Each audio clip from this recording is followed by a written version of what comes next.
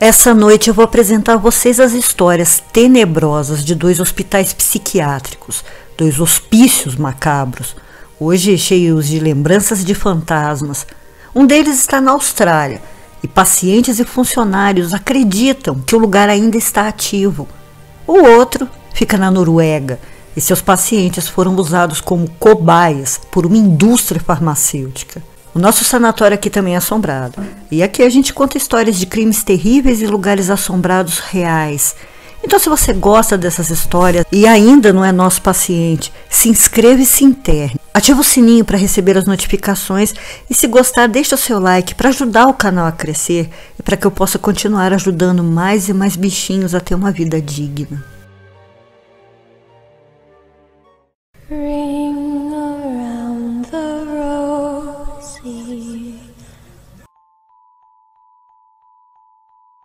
Boa noite. Eu sou a doutora Plague, abrindo as portas do sanatório. Sejam bem-vindos aos nossos hospícios macabros.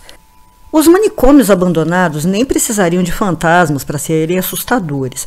Os resquícios do passado, como jaulas para pacientes, picadores de gelo que eram usados em lobotomia e amarras nas camas. Isso tudo já é o suficiente para gelar o sangue de qualquer um.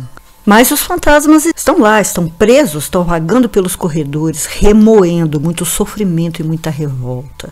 E o primeiro que a gente vai conhecer fica na Austrália. É o asilo de Beechworth. Hospital Beechworth para insanos, na cidade de Beechworth, Austrália. Ficou ativo por 128 anos, fechando suas portas definitivamente só em 1995. Era um hospital autossuficiente, com plantações, hortas, pomares e celeiro. Podiam trabalhar e se manter em 260 acres de terras agrícolas. Isso fazia parte do tratamento. Havia também espaço para recreação, tinha um teatro, quadra de tênis, um quiosque. Ou seja, tinha tudo para ser um lugar perfeito para o repouso e tratamento de pessoas com a mente e com a alma doentes.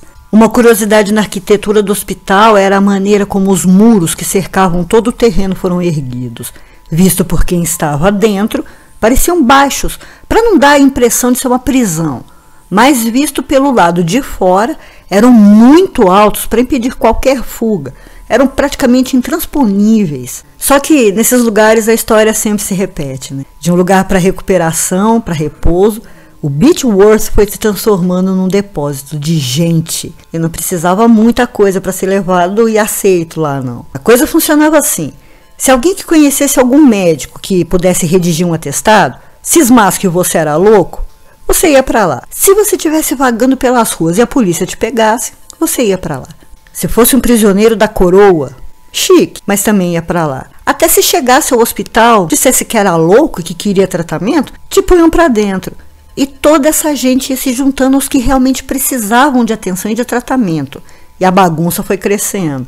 Talvez houvesse até uma razão para que o hospital parecesse a festa da uva de São Roque, e era uma razão bastante obscura. É que procedimentos mirabolantes e desumanos estavam surgindo na psiquiatria, e os pacientes eram perfeitos para testá-los. E havia tudo de pior, tá? A hidroterapia deixava os pacientes imersos em banheiras de água gelada, as terapias eletroconvulsivas ou terapia de choque para os íntimos e a lobotomia, que era mais ou menos um procedimento inacreditável em que o médico, que devia ser mais maluco que os internos, cutucava, às vezes até tirava parte do cérebro dos pacientes, ou pelo nariz ou pela órbita ocular, que era a lobotomia transorbital. Isso era feito com um picador de gelo. Então quem não morria ficava como uma planta para o resto da vida. E claro que muitos morreram. Os registros são de 9 mil mortos, mas estima-se que tenha sido um número muito maior, já que muitos deles eram sem teto e não tinham nem documentos. Quando o sanatório fechou suas portas em 1995, simplesmente por não ter condições de tratar ninguém pelas práticas desumanas, o prédio passou a pertencer a uma universidade e hoje é usado para excursões, passeios fantasmas e até casamentos na sua capela. Só que os pacientes e até alguns funcionários não se deram conta disso e continuam a manter a rotina terrível que tinham em vida. O lugar passou a ser chamado de Casa dos Rostos Flutuantes, porque é exatamente isso que muitas pessoas conseguem ver quando olham pelo lado de fora o enorme prédio vazio. Muitos rostos aparecem nas janelas olhando de volta para os vivos. E alguns dizem que eles parecem extremamente tristes, aflitos, e permanecem por alguns minutos para depois desaparecer. É claro que são os espíritos dos pacientes, que também são vistos ainda com suas camisolas vagando pelos corredores, batendo as cabeças nas paredes, presos às suas camas e gritando. E quem ouviu esses gritos disse que são horríveis, que invadem a alma dão uma sensação de pavor. Assustador também é o som de risadas de crianças. Isso eu tenho medo mesmo, eu tenho medo de espírito de criança. E essas risadas vêm de todos os lados. É claro, Sim, algumas crianças também foram internadas e morreram no sanatório. Mas muitos dizem que as gargalhadas são, na verdade, dos pacientes adultos, querendo brincar com a mente dos vivos. De todos os espíritos residentes, há alguns que são vistos com mais frequência e por isso são mais conhecidos. E uma delas, também paciente, é vista repetindo seus últimos momentos de vida caindo da janela. O que contam é que ela foi jogada de lá, porque sofria muito nas mãos dos outros, por ser judia, a única judia do lugar. Por causa disso, tinha sido decidido que ela seria transferida para outro sanatório. O problema era que, como não tinha família, ou sei lá, foi abandonada por eles, somente um rabino poderia levá-la. Mas ele não chegou a tempo e o pior aconteceu. Além de ser vista caindo da janela, a materialização do seu corpo também pode ser visto no jardim, porque ela ficou um bom tempo jogada ali, até o bendito do rabino chegar e tomar as providências. Como eu disse, o lugar é visitado. Enquanto escutam a história cruel do hospital, distraídos pela voz do guia turístico, os visitantes levam aquele susto quando ouvem o barulho de chave se aproximando e assustam ainda mais quando vem uma enfermeira grande e forte, com cara de poucos amigos olhando dentro dos quartos e passando por eles como se não os visse. Segundo o guia, seu nome é enfermeira Sharp e ela está fazendo a sua ronda. Os pacientes a respeitavam muito, na verdade, porque tinham medo dela, já que além de ser uma mulher enorme e mal encarada, também era responsável por alguns dos castigos. Talvez não tão cruel era o Tommy Kennedy, que também continuou a trabalhar ali depois de morto. Ele era uma espécie de zelador, mas que no fundo fazia todo tipo de serviço, inclusive levar os mortos em um carrinho de mão para frente do hospital e deixá-los lá até que alguém viesse buscar. Tommy também é visto pelos guias e visitantes, sempre na mesma hora e todos os dias. Não há nenhuma dúvida de que o hospital de Bitworth ainda está em atividade, só que em outro plano. Para conhecer o segundo hospício macabro, a gente vai para a Noruega Hospital Psiquiátrico de Lier, Lier Psykerhus, começou suas atividades no século XIX. Era uma grande fazenda. Pessoas com problemas na saúde mental então eram levadas para lá e trabalhavam nessa fazenda. O método de tratamento era exclusivamente isso: terapia e trabalho. Era tudo tão bom e organizado que nem era permitido que fosse chamado de sanatório, e sim de colônias Lier. Em pouco tempo já havia centenas de pacientes vivendo e trabalhando ali. Para evitar a superlotação e as coisas saírem do controle, em 1921, nas terras da fazenda começou a ser construído o Hospital Psiquiátrico, que só ficou pronto em 1926. Até então, com seis edifícios, com capacidade para 600 pessoas, iria manter o mesmo sistema de tratamento, terapia e trabalho. E acabou sendo bom para todo mundo, para a comunidade toda, já que a construção gerou muitos empregos, tanto na própria construção quanto para profissionais da saúde. E a comunidade na época sofria com um índice altíssimo de desemprego. Mas, né, gente, tudo que é bom acaba. Em 1937, o médico fundador do sanatório morreu e a administração foi para outro médico que mudou radicalmente o tratamento. O sonho foi aos poucos se transformando em um pesadelo e finalmente no inferno. Nas décadas de 40 e 50, os métodos implantados eram tão terríveis que hoje em dia dariam até cadeia.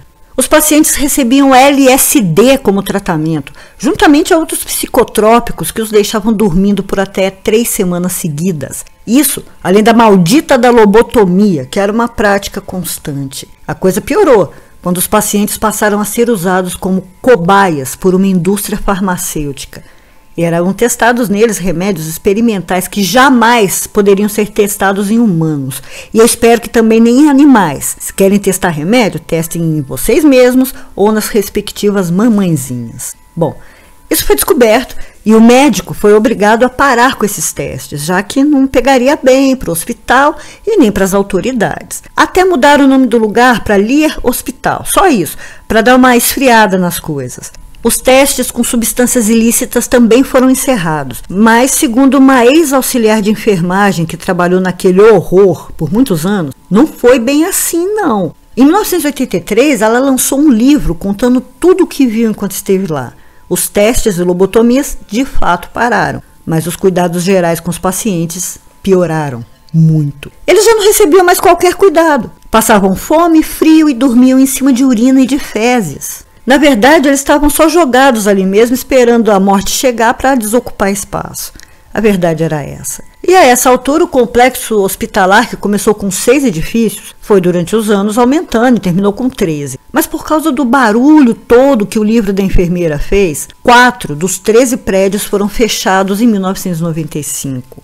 A explicação era que não seriam mais necessários tantos leitos, como se todo mundo fosse bobinho e acreditasse nisso. E aí, em 2013, já estava tudo fechado, só que alguns pacientes só foram tirados de lá e transferidos em 2017. Dois edifícios ainda estão de pé e se transformaram em prédios residenciais. Mas antes mesmo do hospital fechar, alguns dos prédios que foram esvaziados primeiro já estavam abandonados e se deteriorando lentamente desde 1985.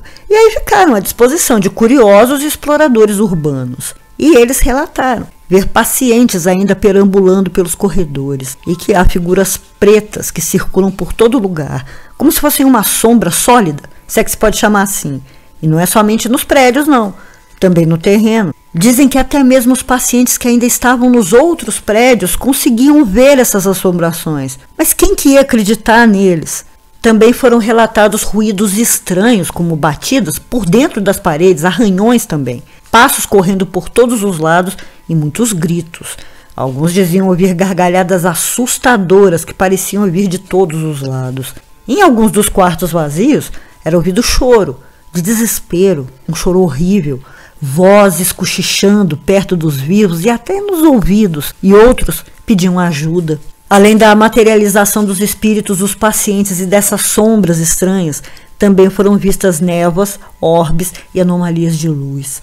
Alguns desses exploradores eram beliscados, puxados ou empurrados e sentiam eletricidade passando pelo corpo. Isso, além do sentimento de raiva, tristeza e medo que surgiam do nada. Certamente, era isso que estavam absorvendo dos espíritos presentes. Havia também a sensação de estar sempre sendo acompanhado ou observado, sem contar na sensação de não ser bem-vindo ali. Ou seja, sofreram a vida toda e continuam sofrendo, não tem descanso. Histórias sobre sanatórios sempre são tristes e assustadoras, mas ao mesmo tempo são fascinantes. Tão fascinantes que semana que vem tem uma segunda parte com mais hospícios macabros pelo mundo. Mas enquanto isso, qual desses aí vocês gostaram mais, acharam mais assustador? Conta nos comentários que eu quero saber. Muito obrigada por assistir até o finalzinho, isso me ajuda muito. Só não se esquece de se inscrever, de se internar, ser um paciente. Semana que vem eu volto com mais um lugar perdido no mundo, mais um lugar onde os fantasmas são os donos. Doutora Plague fechando as portas do sanatório. Boa noite. Vão dormir.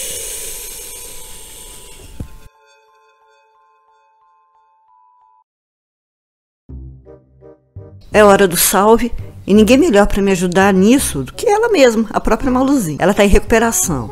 A gente não achou o remédio que ela precisava e precisou comprar um substituto, mas que não fez o efeito esperado. O remédio que ela realmente precisa, então, já chegou e a gente precisa comprar. Também ainda precisamos de ração e da comidinha dela. Então, aos que têm ajudado e não foram no Facebook avisar, eu agradeço muito, muito mesmo de coração e fica aí o nosso salve. Um salve também para Leandra Ravalho, para Maria Estela Iane e Kátia Bernardo, que foram no Facebook avisar. Salve, muito obrigada também a Ivelise Fernandes, que mandou um valeu pra gente. Caso alguém mais tenha mandado um valeuzinho e eu não vi, se quiser um salve também é só me avisar, tá bom? Então, muito obrigada de coração. Quem quiser continuar ajudando a Maluzinha, tá aí o Pix, que também fica sempre na descrição. Se quiser um salve, é só me avisar no Facebook. Então, é isso. Muito obrigada e beijo no bico.